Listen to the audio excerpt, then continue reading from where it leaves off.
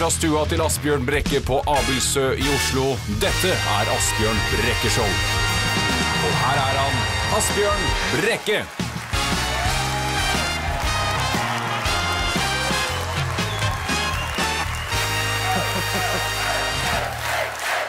Hjertelig hallo og velkommen tilbake til Asbjørn Brekke-show her på tirsdag klokka ni! Tirsdag er min nye favorittdag. Det er Asbjørn Brekkeshow, og jeg har fra nå alltid pommes frites til middag. For jeg har nettopp lagt om ukemenyen for å få litt forandring. Så før hadde jeg liksom alltid krabbeklør på lørdager, torsk på torsdager og pommes frites på søndager. Men nå har jeg bytta det helt om, så nå er onsdag blitt torskdag, fredag har blitt klørdag, og en vanlig arbeidsdag er plutselig blitt pommes frites-dag. pommes frites-dag. Det er ikke rart det kribler i magen, for nå begynner det!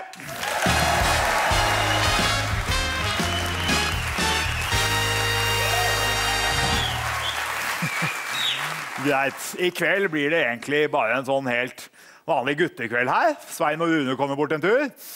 For etter pausen kommer altså, altså Jeg kaller han bare Svein Tore Østvik, men han heter egentlig Charter-Svein.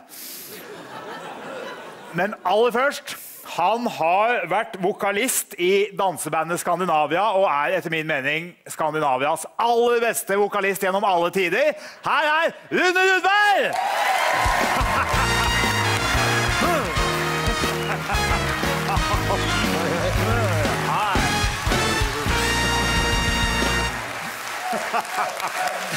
Bravo! Velkommen. Tusen takk. Bare sleng deg på sofaen. Føl deg som hjemme. Ikke helt som hjemme. Men Rune Rudberg, jeg må jo gratulere deg, for du er ute med en ny plate som gikk altså rett til topps på VG-lista. Fantastisk. Det er også Hadde, hadde du trodd det på forhånd? Nei, det, det hadde jeg faktisk ikke. Det, den så jeg ikke komme, og nå har vi ligget der i ni uker. Ja, det er jo helt Og hva, hva er det plata heter? Den heter Tro. Ja, plata heter Tro, men du hadde ikke så tro på selve plata. Nei, Jeg hadde ikke noe tro på at vi skulle komme på VG-lista. Nei, Så, jo, jo, men det også helt til topps, da, gitt. Ja, det er, Ja, ja. det er stas. Det kan vel ikke være helt nytt for deg å ligge øverst? Nei, men Når man begynner å bli gammel, vet du, så da begynner det Ja. dårlig kondis, og sånn, så da havner man gjerne underst. Ja, ja, jeg tenker på Når man vært dansebandartist i 30 år, så har man vel havna både øverst og nederst en del ganger. Både Foran og bak. I hvert fall bak.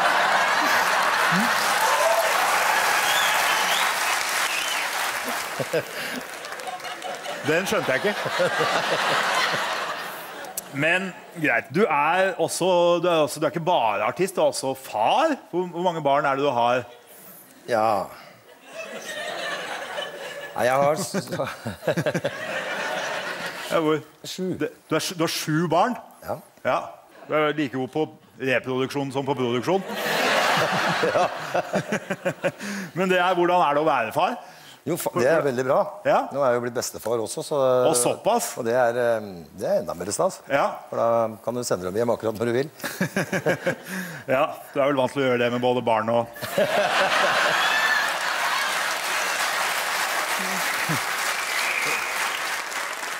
Men du har jo vært involvert i en del sånne skandaler og havna på forsiden av noen aviser. Og det er, vi skal ikke rippe opp i det, men det er altså, jeg har blant annet sett det er særlig ett sånt bilde som jeg har sett som sirkulerer rundt ute på, ut på internett der hvor du ligger i en skinnsofa og det er ja. Du framstår ikke akkurat som den ideelle familiefar. der. Nei, det, det var nå et privat bilde da, som eh, noen hadde moro av å Ja. legge ut på Ja. nettet. Jeg beklager, men vi er, vi er bare nødt til å vise det bildet her til, til skrekk og advarsel. Hvis vi ser her.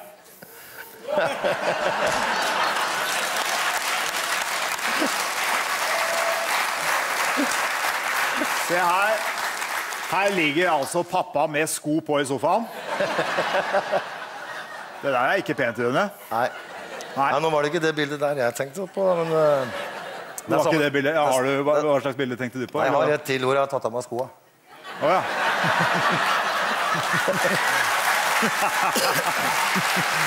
ja, ja. Men det, da kan det i hvert fall ikke være verre enn det der.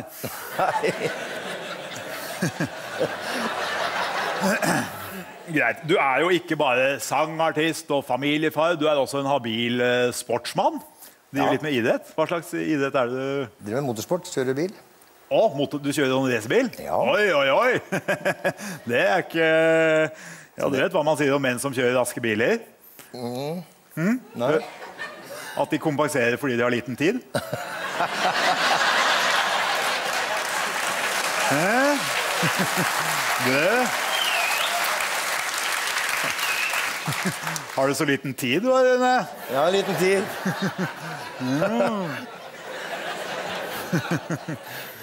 Men det kan jo være farlig det der med sånn racerbil. Du har jo også vært, du har faktisk vært i en, i en bilulykke. Ja. Du fikk for stor fart i en sving og Farta var 160 km, og jeg rulla 11 ganger rundt. Og 150 meter før det stoppa, og da tenkte jeg at nå gjør det snart vondt. ja. Men det var jo alvorlig, det der. Ja, det var det. Men Ja, eh, for jeg det tror vi har, vi har faktisk, Det var videoopptak av det, så vi kan se her hva som skjedde. Rune, der går bilen.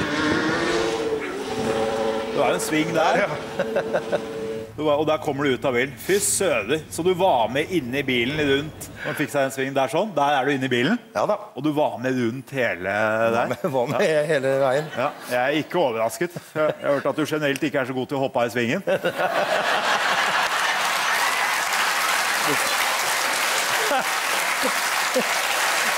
Må... Men det står jo eh, Det står her at du også har opplevd å bli tatt i rass. Bli tatt i rass. Blir tatt i rass. Blir tatt i rass. Hvordan uttaler du det? Og rass, ja. Blir tatt i razzia. For du har, det står her at du har blitt tatt i razzia på et hotellrom med GHB. Ja, det er, det er nesten riktig. Ja. Men uh... Det høres ganske alvorlig ut. Ja. Jeg er ikke sånn veldig ekspert, men jeg går ut fra at når, når det står GHB, så dreier det seg om uh, Gro Harlem Brundtland. Det er ganske alvorlig, Rune. At du Du, du, du har tatt Gro Harlem Brundtland i, i razzia? Nei, nei, Gro, Gro, Gro, Gro var ikke med på det. Gro var ikke med på det? Nei. Nei, hvem, hvem tok hva i hvor? Eller hva, hvor, hva var det? Politiet, politiet tok meg. Politiet tok deg fordi du hadde forgrepet deg på Gro Harlem Brundtland?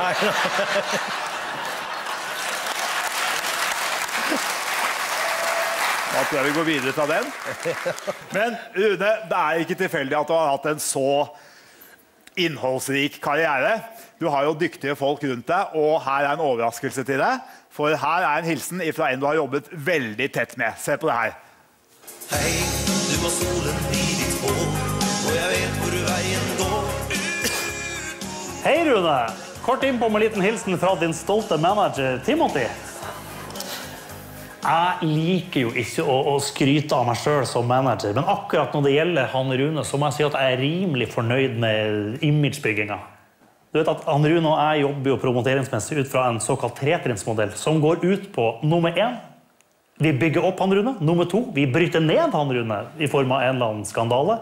Og nummer tre, vi lanserer en superhit basert på den skandalen.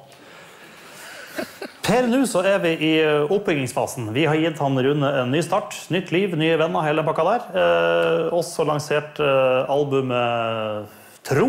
Og, og så, i løpet av høsten, senest januar, da kjører vi på med den store smellen.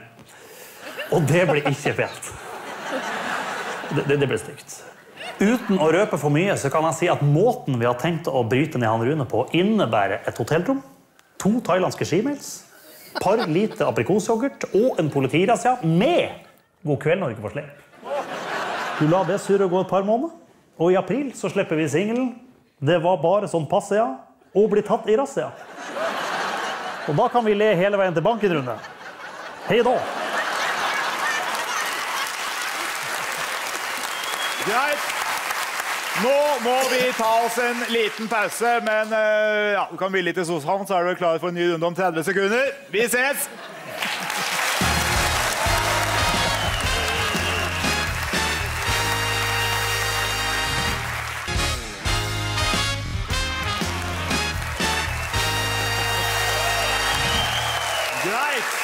Nå kommer en mann som er elsket av hele Norge, selv om han har drukket og danset og kastet opp og prompa i stuene våre i årevis.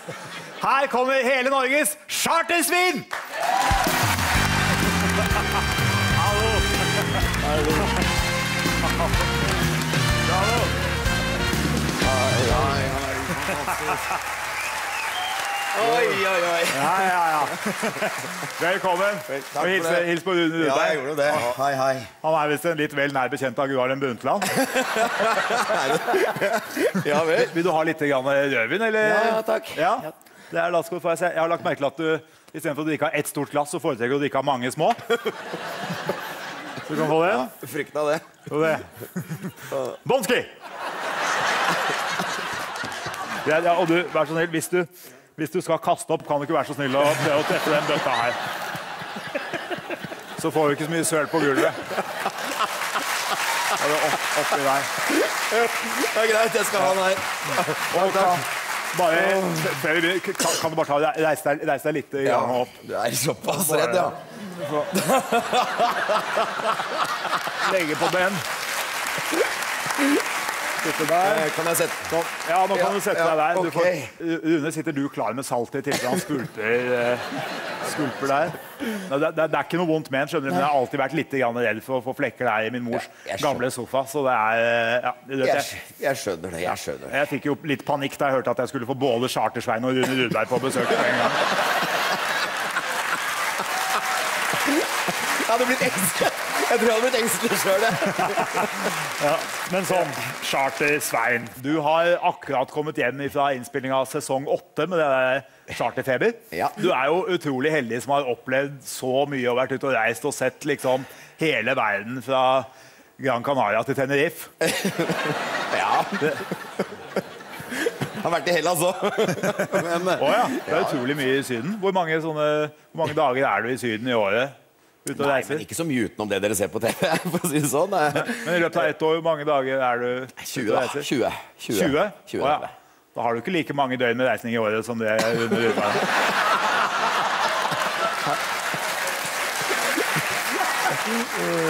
Men du, du, du har jo vært i en del sånne pinlige situasjoner på TV etter hvert. Blir du noen gang litt sånn skikkelig flau av å se deg selv på TV? Ja. Gjør du det? Ja, absolutt. Jeg har, jo, jeg har prøvd å være, prøvd å være meg sjøl, og noen ganger så har vi så har det gått litt over stokk og stein. Og, da, ja, og da sitter man selvfølgelig og gremmer seg litt og har det litt uh, vondt med seg sjøl. Ja, du, du får ha meg unnskyldt, men det blir for fristende å vise et klipp her hvor du altså, du gjør ikke noe spesielt god figur. På, du er ute på dansegulvet, og det var, det var såpass ille at her tror jeg du ble sendt hjem og fikk forbud mot å komme tilbake. Så se på det her.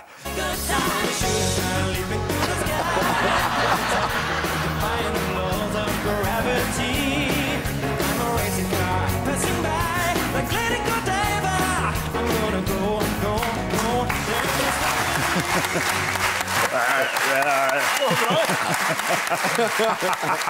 er, altså, husker du noe som helst av det der? Det der, det der er fra Skal vi danse. Eh, ja. ja, med Nadia Hamitskaja. Å, ja. Og hun er russer. Uff da, ja, ikke, du trenger ikke å fortelle mer. Og der er det disiplin, disiplin, disiplin. Hadde jeg tatt så mye som et, eh, et, et smak av et vinglass, så hadde jeg vært sendt hjem. Ja, du ble iallfall sendt hjem etter det der. Pinlig.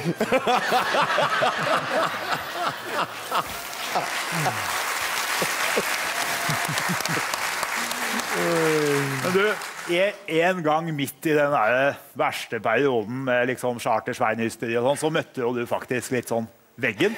Ja. Og snakka om at du fikk litt sånn behov for å begynne litt på nytt. Hva skjedde Ja, altså, nei, det, det var vel kanskje Jeg, eh, jeg gikk jo på en, eh, jo på en eh, promille, eller sånn dagen der på promilledom. Da følte jeg at jeg fikk en sånn slags advarsel om at nå, nå, nå må du begynne å tenke deg om litt og skifte kurs litt. Ja.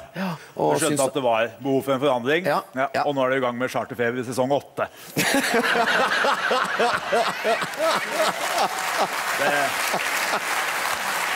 Jeg skjønner, jeg skjønner.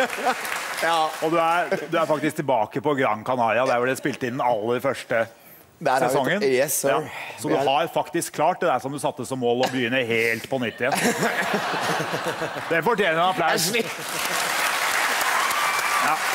Jeg kjenner jeg, jeg er litt svar skyldig nå, skjønner jeg. Ja, det er fantastisk. Du gir jo håp til veldig mange andre i din situasjon. Yes. Det er bare å kjøre på. Hva meg? Eh, Men du, du har jo ikke bare vært på sydenferie i hele ditt liv. Du har hatt litt sånn jobber. Og, hva, hva driver du med nå? Hva jobber du med nå når du ikke er på Nei, altså, utrolig nok så, utrolig nok så er kommer det en singel, en sånn litt humoristisk sang igjen nå, som, eh, som er spilt inn i studio. Og jeg tenkte jeg skulle danke ut uh, han Rune fra listene nå, så Han har vært med hatt deg på scenen, jeg. Ja, jeg veit det. Ja, ja. Jeg så sunget sammen med Rune. Akkurat, hva, hva slags ja. singel er det, eller hva heter den? Eh, Den heter uh, 'Før jeg tenker på deg'. När jag ligger med en annan. För jag vet att du är trogen emot mig. För jag tänker på dig när jag ligger med de andra. För min kärlek vill jag bara ge till dig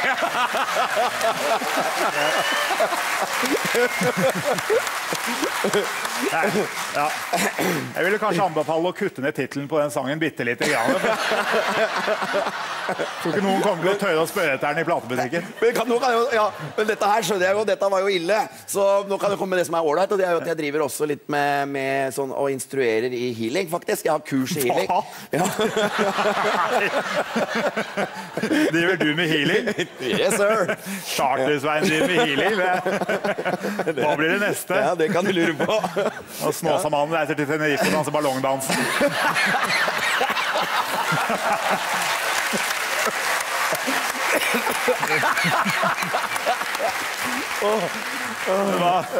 Men du, du, du har faktisk litt sånn at du kan helbrede med hendene? Det Jeg har nok litt så, jeg har stor interesse for det, og har alltid Ja. på en måte øh, vært øh, nysgjerrig på meg selv, på min egen, på min egen syke og mine egne mønstre i meg selv, og, og med det at jeg jobba i 15 år i psykiatrien og sånn. Ja. Så, så egentlig så starta det med at jeg, at jeg begynte med meditasjon, og så, så hadde jeg en, en betennelse, i, betennelse i skuldra. Aha.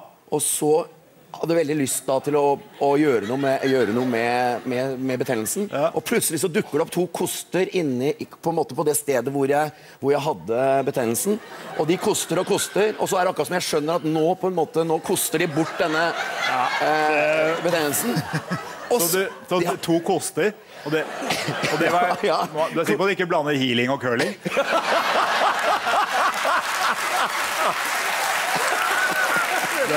Nå trenger jeg hjelp!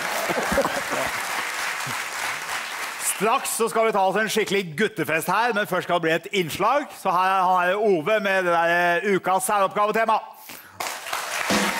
Hvert år må tusenvis av elever skrive særoppgave på skolen. Men å velge tema, det er som å velge nåla i høystakken. En dobbelttime hver uke skal jeg se nærmere på et valgfritt tema. Som noen hjelpsomme forslag på forslag til særoppgave for deg. I dagens valgfritt tema er det reptiler som er dagens valgfritt tema. Fett. Shit. Ravn Skoglund, du er reptilekspert på bl.a. Uh, reptiler og jobber i Reptilparken her i Oslo. Eller forresten, hva, heter du egentlig heter du Ravn, eller er det bare kallenavn? Eller? Nei, jeg heter Ravn. Du heter Ravn, også, men du blir kalt for Ravn også? Eller? Ja. ja. Så det er både kallenavn og hete. Det er det det heter. Ravn? Burde du ikke heller drevet fuglepark? Eller OK. Hvor mange reptilarter fins det i Norge? I Norge så har vi tre slanger, og så har vi to øgler. Har slanger forskjellig kjønn? Ja. Ok, Så det fins hannslanger? ja. Hannslanger, er ikke det, ikke det litt sånn smør på flesk? Eller hvordan er liksom Hvordan ser en handslange ut? Nei, altså Nå er jo all forskjell på kjønn på slanger og reptiler er jo på innsiden. da. Men man eh, kommer litt ut når, eh, når de skal formere seg. Hvem Hva er det som kommer ut? Det kommer det ut eh, to peniser. Hva for noe? Da har du Det er to peniser hvor den ene er slangen selv, og den andre er liksom Nei, det er én slange okay. og to peniser. Ok, Det er tre slanger, på en måte. Hvis man absolutt vil ha en krokodille, Hvordan vil du anbefale at man smugler den inn til Norge? Det er en veldig, veldig, veldig dårlig idé. Hvis man absolutt vil. Eh, Det fins ingen bra måte å smugle en reptil på. Dårlig måte å smugle en reptil på. da. Hva er liksom best av å en, en sånn, kan ta en liten krokodilleunge liksom, og ha en kondom og svelge den, liksom? Eller hvordan? Eh, Det vet jeg ikke. Det har jeg aldri tenkt på og har aldri gjort, så jeg vet ikke. Ok. Hvis du hadde hatt en ulovlig reptil, hadde du sagt det på TV da? Jeg hadde nok ikke det. Nei? Ok. Trenger ikke å si noe mer enn det. Hva slags folk er det som egentlig blir interessert i reptiler? Det kan være hvem som helst. Hva er det som er så bra med reptiler i forhold til andre dyr? Eller at de ikke trenger noe. De trenger ikke noe kos eller noe, noe sånne ting. De spiser veldig veldig sjelden og kjeder seg ikke. Så det som er bra med reptiler som kjæledyr, det er at eh, det er akkurat som ikke har et kjæledyr. på en måte. Eh, Ja, nesten.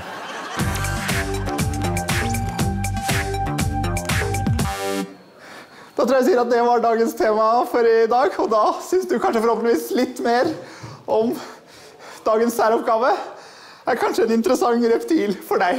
Nå begynner han å stramme seg her. Det er greit, vi har den. Da er programmet over, men guttas kveld her har bare så vidt begynt. For det er lagt opp til sånn her fest som jeg har hørt at, eh, at dere liker. Og Svein, jeg vet at du er ganske glad i jeger. Jeger, Ja, Så nå har jeg ordna en hel jegergryte. Og, og til dessert, Rune, din favoritt smårips. Da skal vi på fest, og må dessverre si ha det til dere der hjemme. Men jeg lover å komme hjem igjen til neste tirsdag klokka ni til samme tid. Ha litt jeger, da.